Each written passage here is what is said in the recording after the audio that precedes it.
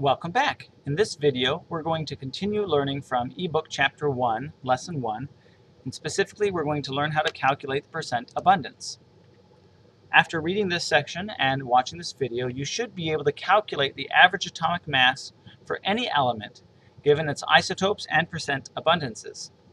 So let's review and remind ourselves what an isotope is. Isotopes of a given element have the same number of protons but different numbers of neutrons. Here, these are two different carbon atoms, so each has six protons. However, they have different numbers of neutrons. So the one on the left is carbon 12, the one on the right is carbon 14. Because they have different numbers of neutrons, each isotope of a given element has a different isotopic or atomic mass.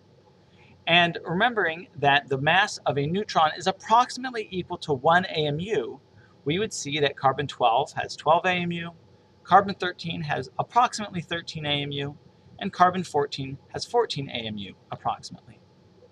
Now, the problem is, is that there's not an equal amount of any given element's isotopes.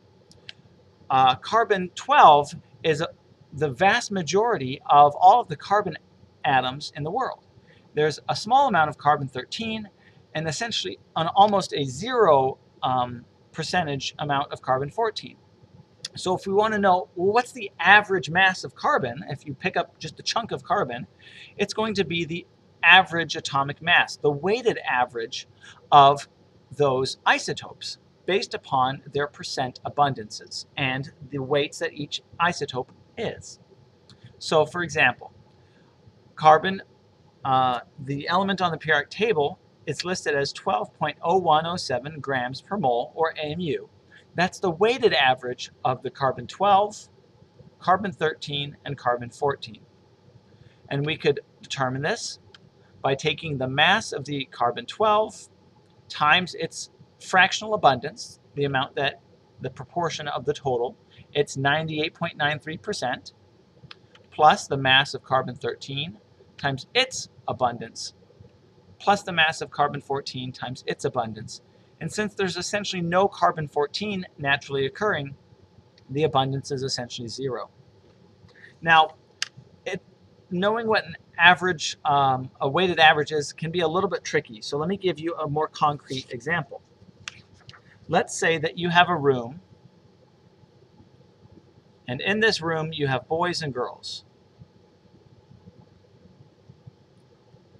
The boys, there are 10 of them, and they are all age 12. And there are four girls that are all age 15. If I were to say, what's the average age in the room, it would be somewhere in between these two numbers. And hopefully you should be able to tell that it would be more heavily weighted towards the boys because there are more boys than there are girls to find the actual average, what we do is we take the age of the boys, so 10 years, times the number of boys, or the, the, the fractional amount, so the percentage. There are 10 out of 14 of the people are boys, plus the age of the girls, which is 15 each, times its fractional abundance, which is 4 out of 14.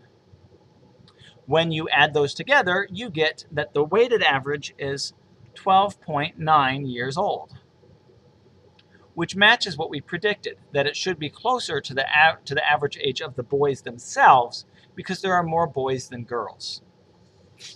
Okay, now let's look at a chemical example. If you have vanadium, it has two naturally occurring isotopes, and we want to know what are the relative abundances. So there's a couple things here you need to keep in mind. We have essentially two pieces of information, although they're not necessarily obvious. One, what we just said, is that the average atomic weight, which comes from the periodic table, is the weighted average of those isotopes. But if we don't if we don't know the abundance of one, how can we know the abundance of the other? Well, that's where we have a very important relationship. And that is, we know that there are only two isotopes. We know we have vanadium 50 and vanadium 51. And that the sum of the abundances must add up to be all, the whole thing, or in other words, 1. So if we say this, let's let the relative abundance of this be x, let's let this be y, then we know that x plus y is equal to 1. Or, if we look at it in percentages, x plus y is equal to 100%. Now that we know that, we can find the actual abundances because we can combine that with uh, the atomic weight relationship, where the, the uh, average atomic weight is the isotope abundance times its fractional abundance plus the isotopic abundance of vanadium 51. So by combining these two relationships, we can solve. This is just restating the equation that we saw earlier. Now we can substitute in. We saw that x plus y is equal to 1. So rearranging that, we get 1 minus the abundance for vanadium 51, which we're going to call y is equal to x. And let me change those here.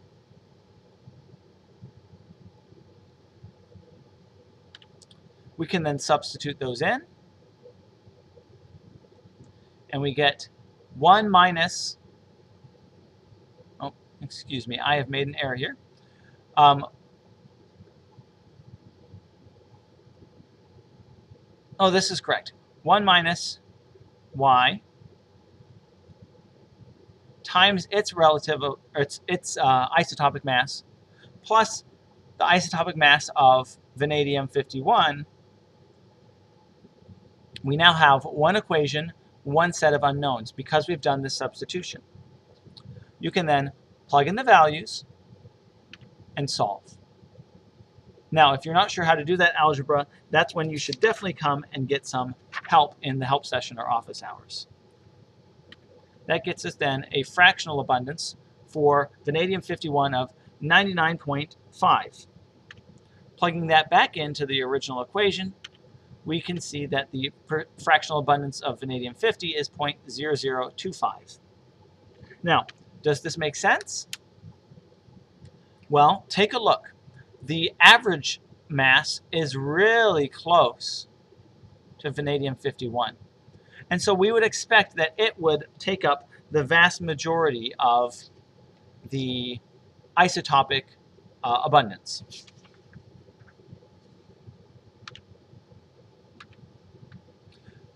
Here's a comprehension check for you. Pause the video and try this one on your own to see if you can do it, and then come back.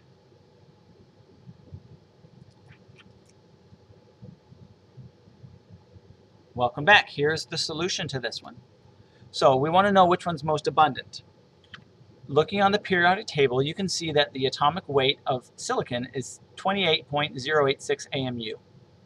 That is somewhere in between 27 or the silicon 28 and silicon 29.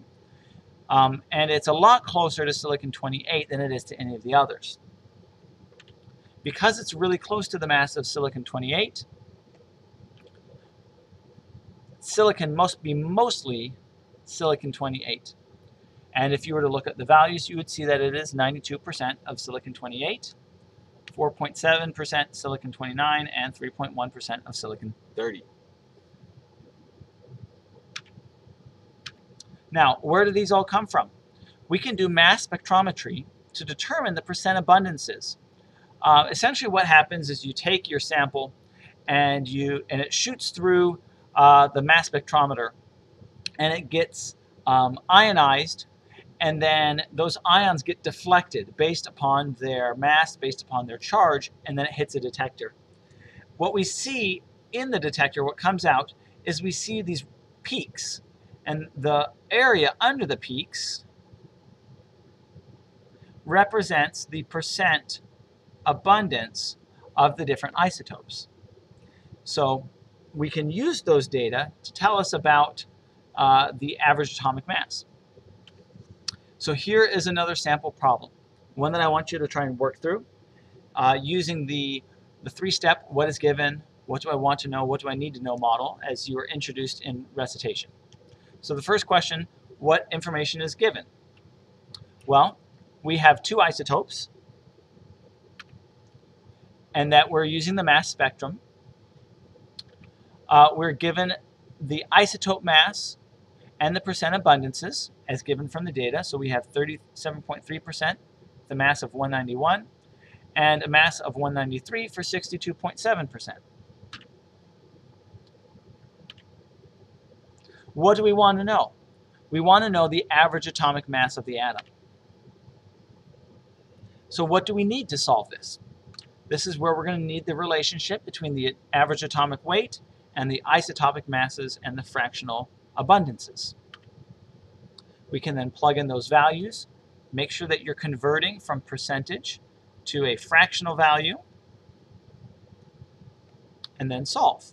And we would get for that uh, equal to 192.25 AMU. At that point, what you could do is you could look at the periodic table and see which element this most likely corresponds to. Okay, that's it for this video. Thanks for watching. If you have questions, you can ask on Piazza and office hours, recitation, or during the help sessions. Have a good day.